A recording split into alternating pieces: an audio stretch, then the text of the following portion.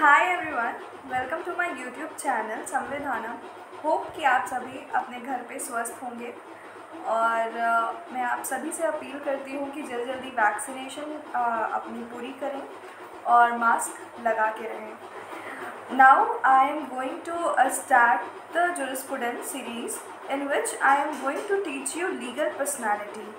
Okay, coming towards the topic. Here, legal personality. Okay, the personality means in law a rights and duty bearing unit. A rights and duty bearing unit. कोई भी ऐसा unit जो rights and duties को bear करता है legal personality का मतलब क्या हुआ legal personality means a person who is recognized by law ठीक है अकॉर्डिंग टू सालमन सालमन क्या कहते हैं a person is any being whom the law regard as the capable of rights and duties. According to Salmond Salmond ये कहते हैं, कोई भी पर्सन जिसको लॉ रिगार्ड करे, जो कि कैपेबल हो राइट्स एंड ड्यूटीज़ के लिए। ठीक है? और यहाँ पर्सन सिर्फ़ पर्सनस का मतलब सिर्फ़ ह्यूमन बींग नहीं होता but also the association of person such as corporation companies trade union hospital universities etcetera okay now the kinds of person I will discuss in very in this chart in very short form इसके बाद मैं आपको long तरीके से बताऊँगी ये सारी चीज़ें। ठीक है? काइंड्स ऑफ़ पर्सन लाइक दो तरीके के पर्सन होते हैं, एक natural person and legal person natural person को उसमें ह्यूमन बींग को रिकग्नाइज किया गया है और लीगल में रियल और इमेजिनरी कोई भी पर्सन हो सकते हैं. Natural person according to Holland living human being rank as a person in a law okay अब इधर पर्सनालिटी लीगल पर्सनालिटी जो टर्म है, उसके कई सारे मीनिंग हैं, ठीक है? Personality फिलोसफिकल सेंस में the rational spectrum of a human being. And in law it means a right and duties bearing unit which I have discussed. ठीक है? According to Savigny person is subject or a bearer of a right. Holland Savigny क्या कहते हैं कि कोई भी person जो right right को बेयर करे वो recognize as a legal personality okay लेकिन होलैंड का क्या कहना है? सेवेगनी से कुछ हद तक वो uh, मानते थे उनकी बात बट इनका कहना था but also available against the person ठीक है? ये जो लीगल पर्सनालिटी इसके अगेंस्ट भी हम मतलब एज अ पर्सन अगेंस्ट उसमें सूड और टू बी सूड वाला जो ऑप्शन होता है ये। ठीक है? कैल्सन ने रिजेक्ट किया इनकी थ्योरी और उन्होंने डिस्टिंग्विश किया human beings as a natural person and a juristic person he also rejected the definition of a personality as an entity ठीक है? Which is capable of holding rights and duties but a natural person is different from legal person who are capable of having rights and duty constitute a distinct entity. In law natural person different है legal person से, ठीक है? क्योंकि natural person और legal person में यही difference है। जो लीगल पर्सन वो होते हैं जो कि capable of being rights and duties उनके पास राइट्स एंड ड्यूटीज़ होता है और एक एंटिटी वो बनाते हैं। ठीक है अकॉर्डिंग टू सालमन सालमन की सबसे एक्सेप्टेबल मतलब एक्सेप्टेंस मिला था इनके डेफिनेशन को सबसे ज़्यादा। कोई भी a person is any being whom the law regard as capable of rights and duties कोई भी पर्सन लीगल पर्सन माना जाएगा कब, जो कि जिसके पास केपेबल ऑफ़ राइट्स होगा और ड्यूटीज़ होगा। Any being that is so capable any being that is so capable is a person whether a human being or not कोई भी पर्सन जो कि केपेबल हो राइट्स और ड्यूटी का, चाहे वो ह्यूमन बींग हो या नहीं हो not being is so capable is a person even though he be a man ठीक है? चाहे वो मैन हो या ना हो, इससे मतलब नहीं है। ठीक? अगर उसके पास राइट्स एंड ड्यूटी है तो उसे कंसीडर किया जाएगा एज अ लीगल पर्सनालिटी ठीक यहाँ पे कंपनीज़ एसोसिएशन ऑफ़ कॉपरेशन ये सारी चीज़ें आती है। ठीक है पर्सन दो तरीके से डिवाइड किए गए थे। एज मैंने पहले ही बताया गया था, पहले ही बताया था कि नेचुरल और लीगल पर्सन होंगे। नेचुरल पर्सन जो होंगे वो ह्यूमन बींग होंगे और जो लीगल पर्सन होंगे वो रियल भी हो सकते हैं इमेजिनरी पर्सन इमेजिनरी पर्सन हो सकते हैं। Natural person according to Holland according to Holland Holland ने सर्टन कैरेक्टरिस्टिक्स बताई थी नेचुरल पर्सन होने के लिए। First he must be a living organism living organism हो लिविंग ह्यूमन बींग हो। He must born alive to be ranked as a person in law मतलब कि जो पर्सन बॉर्न होगा, वो अलाइव होना चाहिए और ranked as a person in a law और लॉ उसे रिकॉग्नाइज करे। ठीक है? एक्सेप्शन है इस रूल का क्या है? A child in a womb a child in a womb of a mother is for a same purpose consider by legal fiction a child in a womb of a mother कोई भी child जो कि mother के वूम में है, उसे legal fiction द्वारा ये माना जाता है कि वो चाइल्ड जो कि है, वो अलाइव हो चुका है। ठीक? लीगल फिक्शन ये मानता है। इसका ये एक्सेप्शंस है। उसके पास भी राइट्स एंड ड्यूटीज़ होंगे according to transfer of property act ठीक? यहाँ पे मैंने इसको क्लियरली बताया exception case of transfer property child in a by legal fiction actually bond माना गया है उसको। ठीक? और in older days slaves are not consider as a legal person इनका ये मानना है कि ओल्डर डेज़ में स्लेव्स जो थे वो लीगल पर्सन कंसीडर नहीं किए जा सकते थे। They were treated as a chattel of their master वो अपने चा, चारा मतलब चारागर थे अपने मास्टर्स के। A person who takes religious or holy order is for same persons considered to be a civilly civilly dead in many societies. Example in Hindus, when a person as an uh, Asiatic sannyasi, his rights in property goes to heirs if he were dead. Okay.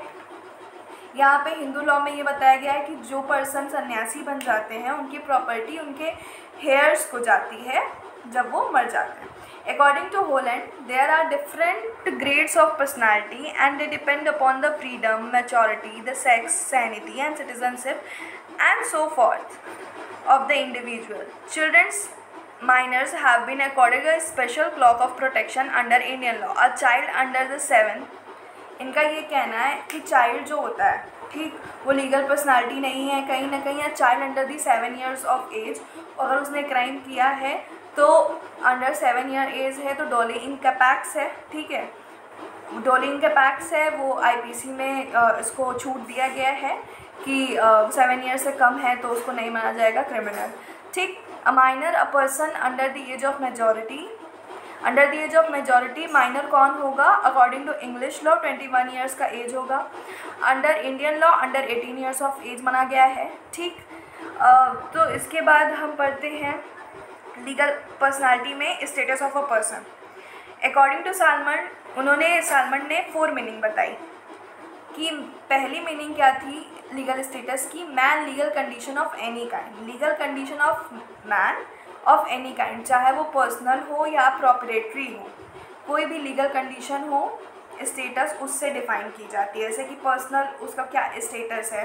Proper proprietary मतलब property में उसका कितना property का right है, उससे उसका status define होता है। ठीक है? अब दूसरा डेफिनेशन क्या है? Legal condition of a man not with regard to his property but only regard to his personal rights and obligation यहाँ पे सेकंड में ये बताया गया है कि सिर्फ़ उसकी प्रॉपर्टी ही नहीं बट उसका पर्सनल राइट और ऑब्लिगेशन उसके स्टेटस को डिफाइन करता है। फिर स्टेटस को क्या डिफाइन करता है? Personal capability and disability of a person next the personal legal condition oppose by law without his own consent कोई ऐसा लीगल स्टेटस उसे बोलेंगे मतलब स्टेटस ऑफ़ अ पर्सन उससे डिफाइन किया जाएगा कि अगर किसी पर्सन के पास कोई भी लीगल कंडीशन है जिसका लॉ के द्वारा उसको पारित किया गया है, उसके कंसेंट के खिलाफ भी, तब भी वो उसका स्टेटस माना जाएगा। ठीक है? Now the legal status of animals ठीक है?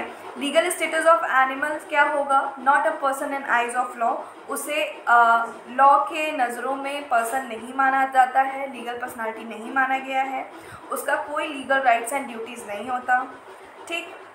दो केसेस हैं जहाँ पे animal possesses a legal right ठीक है? लीगल राइट कब पोजेस करता है? क्रुअलिटी टू एनिमल्स होती है, तब पोजेस करता है वो लीगल राइट जहाँ चैरिटेबल ट्रस्ट या पब्लिक एंड चैरिटेबल ट्रस्ट होता है for the benefit of particular class of animals तो वहाँ पे भी उसको क्या माना जाता है? लीगल स्टेटस वहाँ पे लीगल स्टेटस उस दो कंडीशन में उसका माना जाएगा। Legal status of a dead person अगर कोई पर्सन डेड है, ठीक है पर्सन जब ज़िंदा होता है और जब तक मरता है, वो उस अंतराल में उसको एज अ लीगल पर्सन माना जाता है। बट आफ्टर डेथ जब उसकी डेथ हो चुकी है no longer person in eyes of law but law in certain matters protect the interest of deceased person deceased person का इंटरेस्ट प्रोटेक्ट करती है सर्टेन केसेस में लॉ कब कब? इन केस ऑफ़ डिफॉर्मेशन ठीक है, इनको मैं बहुत अच्छे से डिस्कस कर रही हूँ. Now the legal status of person okay animal Animal are not a person in the eyes of law, therefore they are not subject to legal rights and duties. The human act which are considered by law as a wrong against animal are really speaking not wrong against the animal but the wrong against the person who whom who own the animal or against the society. जो अगर कोई legal wrong commit होता है animal के against तो वो animal के against नहीं कमिट हुआ था। जो एनिमल जिसके अंडर में होते हैं, जिसके ओन में होते हैं, उसका राइट का वॉलेशन होता है वहाँ पे।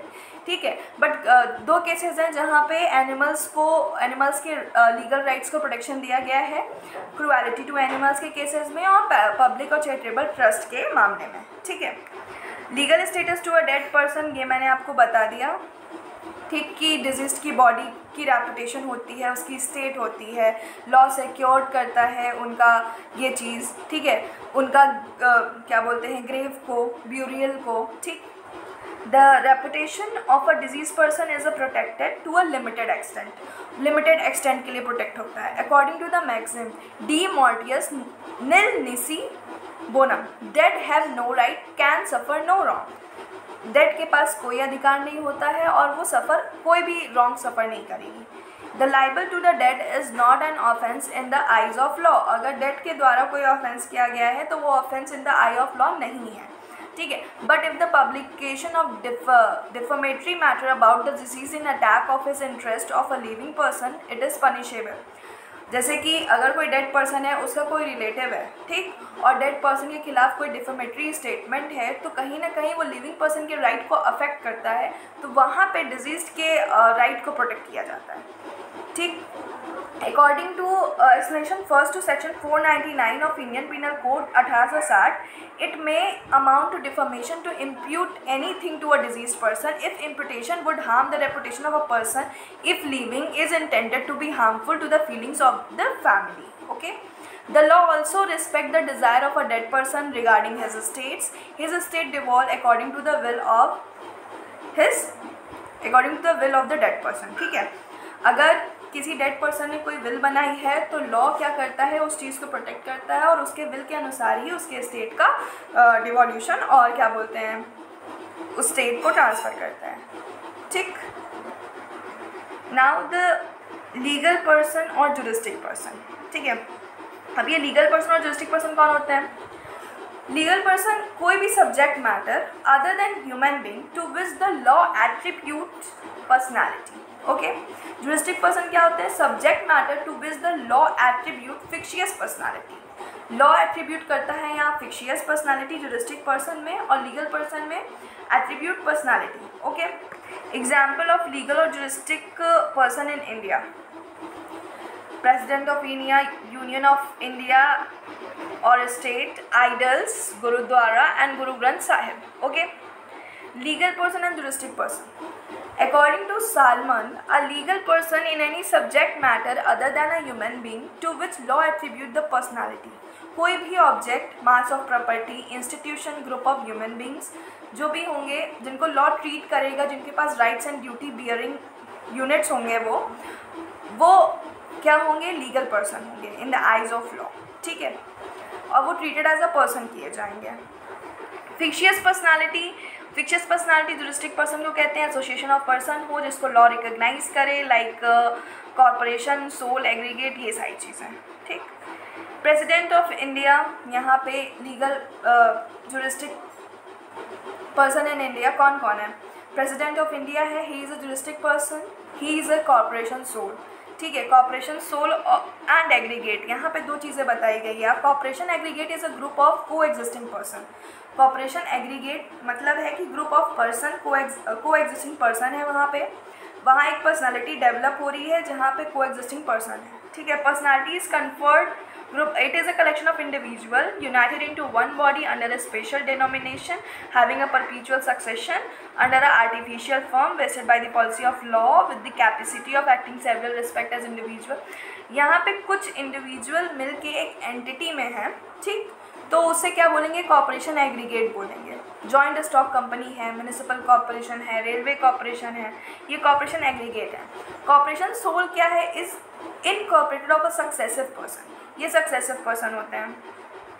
Corporation sole is that has only one member at a time corporation sole are the crown president of India minister post post master यही सारे लोग। ठीक president of India juristic person है यूनियन ऑफ़ इंडियन स्टेट ये भी juristic person है gurdwara and Guru Granth Sahib ये Guru Granth Sahib the holy Granth of Sikh is a legal person इसे एक लीगल पर्सन माना गया है। ठीक, इसे एंटिटी माना गया है। दो एंटिटी है, gurdwara and Guru Granth Sahib are not two separate legal entities ये दोनों अलग अलग एंटिटीज़ नहीं हैं. The existence of gurdwara is because of the installation of Guru Granth Sahib which is nucleus ठीक? अब यहाँ पे in Shiromani Gurdwara Prabandhak Committee versus Somnath Das 2000 case two thousand का ये केस था. इसमें Guru Granth Sahib stand and all together different footing than holy books of other religious religions namely the Quran Bible Ramayana Bhagavad Gita etcetera because the latter are not regarded as a legal person Guru Granth Sahib को पहले क्या बोलते हैं as a legal person नहीं माना गया था but जैसे कि दूसरे रिलीजन्स में Quran Bible Ramayana Bhagavad Gita etcetera को इसके फुट में रखा गया था तो इसे भी रिकग्निशन दिया गया। और as a Guru consider as a soul and heart of gurdwara ठीक, यहाँ पे गुरु ग्रंथ साहिब को ट्रीट करते हैं वर्शिप करते हैं एज अ गुरु की तरह and consider as a soul and the heart of gurdwara मानते हैं।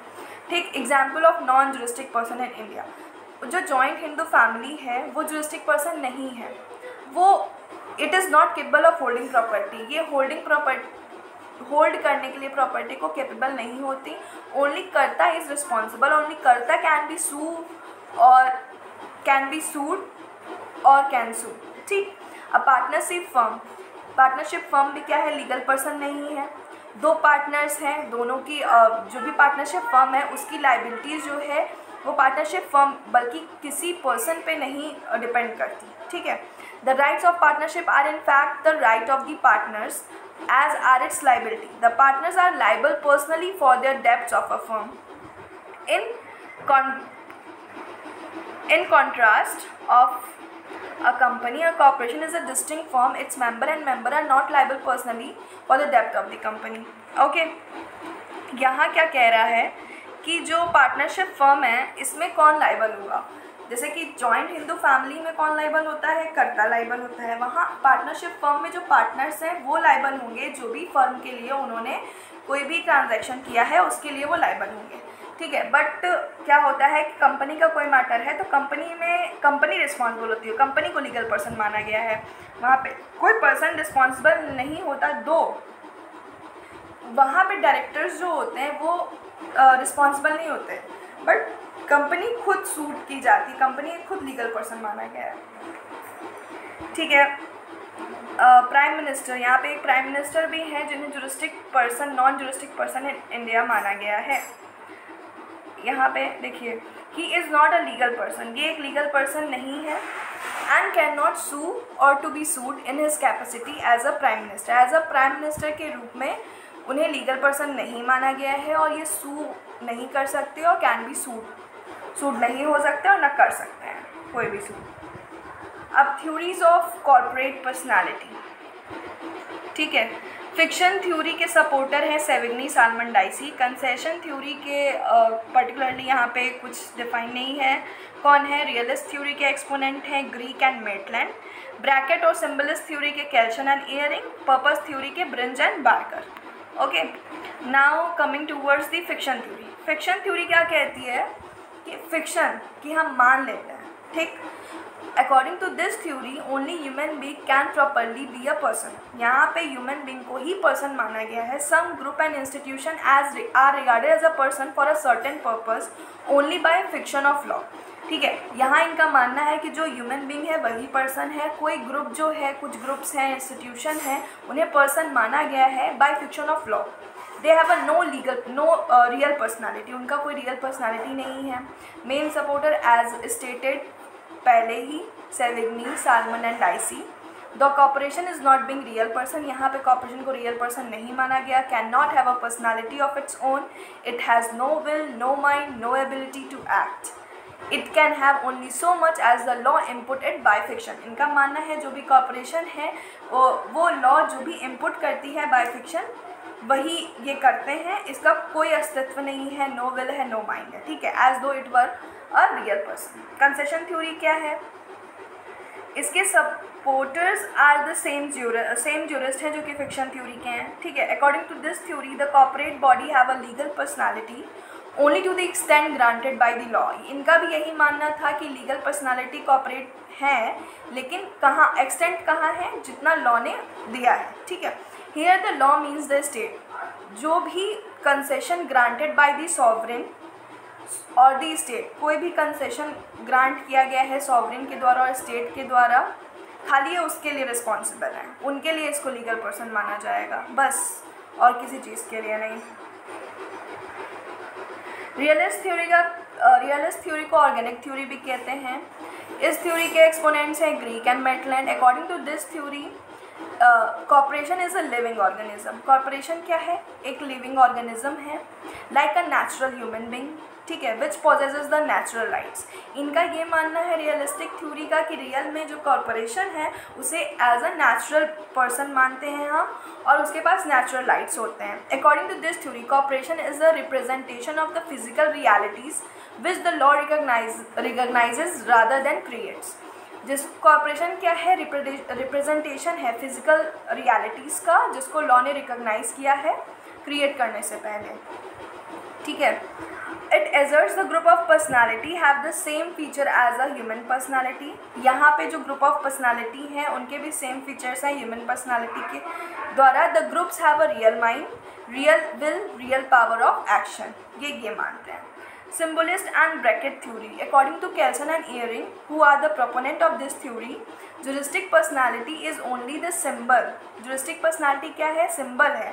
To facilitate the working of the corporation जो फैसिलेट करता है कॉरपोरेशन की वर्किंग को. ठीक है? Only the member of corporation मतलब कि जो सिम्बलिस्ट थ्योरी है, यानी कि सिम्बल कौन है कॉरपोरेशन का? पर्सन पर्सन क्या है? सिम्बल है. Is a true sense around them a bracket to put to indicate they are to be treated as a one unit जो भी पर्सन इन्वॉल्व है कॉरपोरेशन में, उन्हें यहाँ पे क्या बोला गया? पर्सन एज अ रिकोगनाइज किया गया, उनको एक ब्रैकेट में पुट करके बोला गया, एक यूनिट माना गया है।